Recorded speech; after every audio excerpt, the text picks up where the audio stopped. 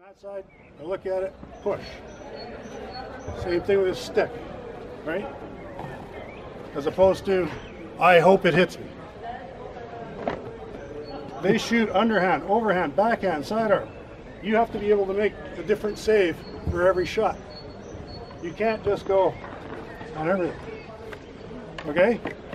So let's work on some skills, boys. What you need to learn is how to watch the ball come to you. And you also need to learn how to wait because too many guys are moving and lifting and it goes right through their legs. Or you it's there, right? You have to learn how to just watch the ball come to you. Sometimes you do nothing. So this is a great warm-up drill or something you can do with your brother, your sister, your dad, someone in your neighborhood. You don't need equipment. It's going to increase the speed when you do it to whatever you would like to do.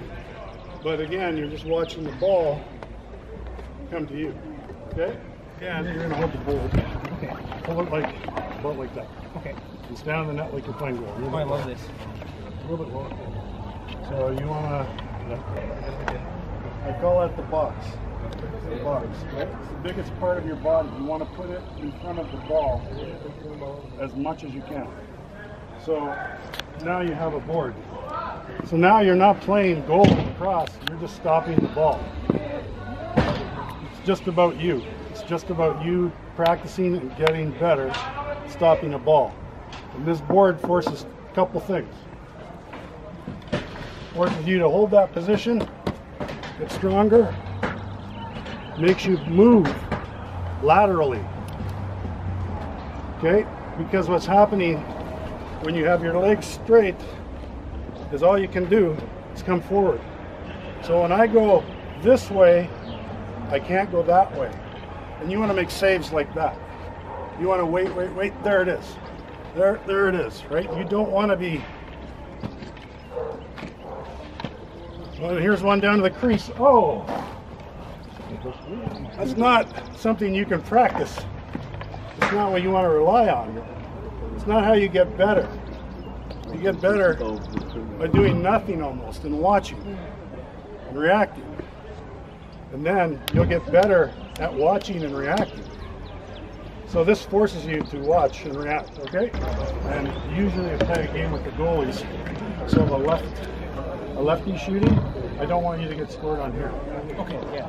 Make them score a good shot. Okay. And they're going to score between your legs sometimes, so don't worry about it. So just, you're holding tight. yep. You have no pads on, so you want to keep the board in front of you and try not to push your arms. Use your feet. Show me. my body in front Yes. of the ball. So if it goes to that side, show me. Yes. Okay, so always with my whole body. If, if all I do, all practice long, every practice you guys can work on one thing and get better. If you just work on one thing. Maybe you have to tell your coach so your coach knows that you're working on something other than what the, he might want. But but if I don't let in a goal short side or between my legs and I make the shooter score here, then I don't have to do any of that. I just stay still. If it hits me, it hits me. If it's going there and I make the right decision, I push and I stop it. But if it goes in, he had to shoot it and make a good shot to score. I didn't lift my stick and go between my legs. I didn't step out too far and have it go short side. Okay? So those are goals you can prevent, especially in a practice. And when you get better at stopping everything, you should stop. You don't beat yourself. You don't have a good game and a bad game, and a good game and two bad games. And a, instead, you go and you get a little bit better and a little bit better every practice, every game. And guess what happens? One year, two years, three years, your play goes like this. Your confidence kicks in. You feel good. You get better. Okay? So that's all I can do is give you guys some drills you can do all the time, not just at the box with your team on your own. If you have a net or you find a tennis court and just put a lace through for the net and the netting or however you make a net. You can do this on your own time and always get better. Tennis balls are the best thing for you because they don't hurt. There's no shrinking on the shot. There's no, "Oh, I'm not going to put my toe on that. There's no first shot of the practice hits you in the thumb or the toe or the balls or the head, and you have a bad practice. You have a good practice every time when you use tennis balls, and it's all about you, the goalie, not the players. And and the last thing I'll tell you, it's the most important thing for the coaches to hear too. I was a general manager in professional lacrosse for 10 years. And every year at the start of the year, I would have this discussion we're having right now. And my discussion would be one person on the team is more important than anyone. More important than the coach, more important than the owner. Because he has more control over who wins and loses than anyone on the floor. And that's the goalie. So, coaches, you have to work out your goalies because they can make a lot of mistakes go away. And a lot of coaches don't think like goalies because they weren't goalies. It's not their fault. But you get what I'm getting at? You're your own boss. You've got to make yourself better. You've got to think about all these little things I'm trying to show you because like I said, a little bit, a little bit, a little bit, a little bit, and then you get better. And the confidence is the big piece because what happens with goalies who go like this is sooner or later the down part is further and the confidence never kicks in and you never get to where you want to go because you wouldn't be standing here if you didn't want to be at the next level. We talk about stance in the net and again when you're holding your stick this high my knees are, are almost dead straight and if I can bring my stick down and out it's very important out here. So again to do this you have to get good at doing this. I get tired. And as I got tired I would get wider and wider. And then they would shoot the, net. So I want you guys to just for the rest of tonight try at least try what I'm about to show you. And that is you want to get your stick away from here out here. Okay and so part of the reason you're having trouble with this is because your hands like like this. Your thumb is is up instead of well your thumb your hand is like this sorry from coming around. So you can't move your stick very well. You have to turn your hand like that to pick a ball up. So in the old days with the short stick we would play sometimes with our thumb right in the head of the wooden stick. So when you hold your stick with your thumb up you can get hit but you can move. You catch a ball control it take it and roll it. More rebound right? So again think about the, the drill just passing with the tennis ball with the player stick. You watch it into your stick you learn how to catch a ball track a ball. Roll the ball in your stick keep the spin in your stick G Ash. so it's a skill and I'll tell you before all the equipment this was the best equipment it didn't hurt to get hit with a ball because it was in your stick and now this is how we're playing goal. Okay, and it works to some degree, but I think it's hard to get better if you don't try and at least get your stick out and start moving it to a shot. And it won't happen with your hand up here. So if you guys are comfortable, just try a little bit, even if it's just a couple inches and a couple inches. It gets the weight off of your stick and it gets it into your back and it stops you from exploding forward as soon as they shoot. It's a squat, it makes the back stronger, it makes you be able to stay in this position, and have weight on your stick. Um, but balance, it's no different than the, the checkers checking and the guys on their back, you know, bullying in and shooting. Lacrosse is all about balance. The same thing with goalies. If you're off balance, all you can do is come forward. But if you're balanced on your heels, you can you can move to anything, right? So um, you have to be careful, and part of the stair work will get you better at staying in this position. So you're not making these saves where my shoulders are outside of my knees. You want to make this save. you don't need to stop the ball up here. You need to stop the ball here. Remember? The board. So that's why I've been working with you guys to try and get you back in the net. Because as soon as I step out, you put it over me, you can pass around me, reach around me, and you see all that net. When I'm here, it's hard to get it over me, it's hard to get it short side, and I see the reach and I can meet it here, not here, and I hope, right? And then again, if I fall to my knees, I'm out here. Now I've got to get back there. When I fall to my knees here, I'm still the box taking up half, three quarters of the net. So that's why I would tell you guys to try and practice being back here as much as possible. So again, when you're getting this kind of save, you really are, it's a byproduct of having your feet locked out. You're trying to generate lateral movement with your arms and no legs. So again, it could be that. It doesn't look as good, but it stops a lot more. Wait out. And I'm doing a little squat. So you're building these muscles up. Because when you play goal, you stand like that. It will make your, your whole structure stronger so you don't get tired during the game. Again,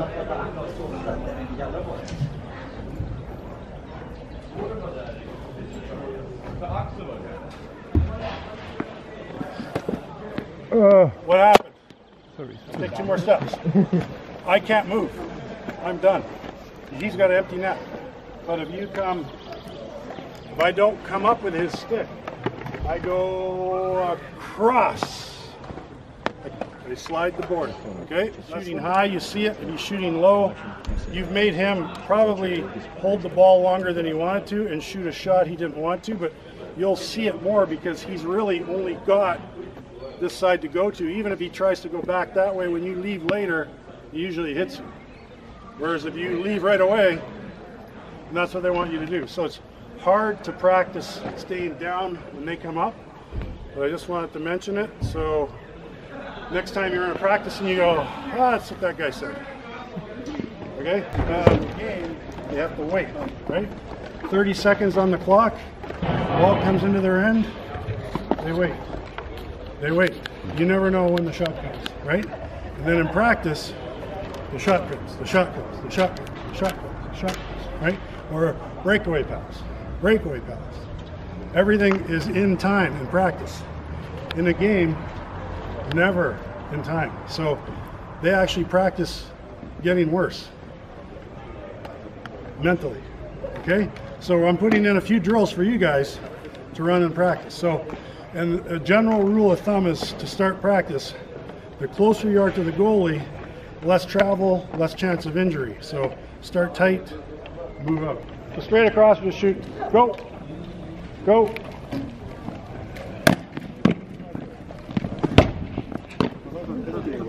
Hey, lefties.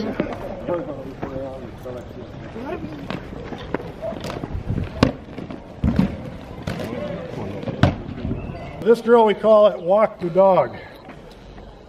And literally, players, you start with your hand out. So again, it's for the goalies. You have to wait, to wait for them to shoot. So you literally start running, you pull it, and he has to do something more than just set up and be big. He has to watch you pull the stick with your feet moving and shoot the ball. Uh, Nice. somewhere in here. I'm talking to him, but Nice.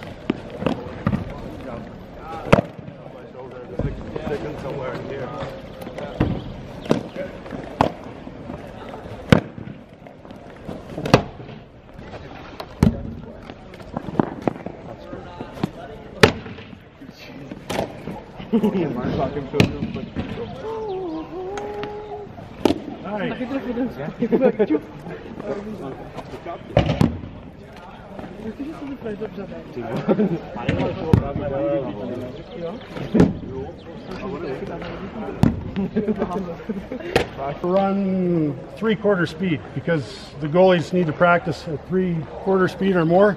Because in a game, in a game, when they're running and a guy's on their back chasing them, they might be trying to shield the ball, but they're running full speed and then shooting almost as an afterthought if they're being chased. But nobody practices half speed, or nobody runs a breakaway half speed or a quarter speed. But we get lazy with practice and we go this fast. Watch how many kicks I can throw. There. As opposed to running full speed, one. So keep that in mind, because that's again shooters making goalies worse by practicing out of time and not game speed or game situation. So this drill, all I'm doing, you take off, go. I'm looping him to pass. So two things are going on here. He's running really fast, and the pass is real slow. So as a goalies, you have to sit and wait and wait. But what you don't want to do is get all wound up in the guy running really fast, slow pass. You have to wait for him to catch before you can even, before he can even turn his head. You have to just wait. Okay, so it's a great drill for practice for goalies. Good save. Nice, nice push.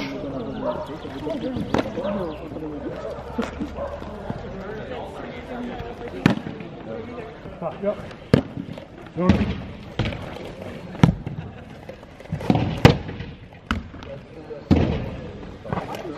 Nice, good job. Here we go.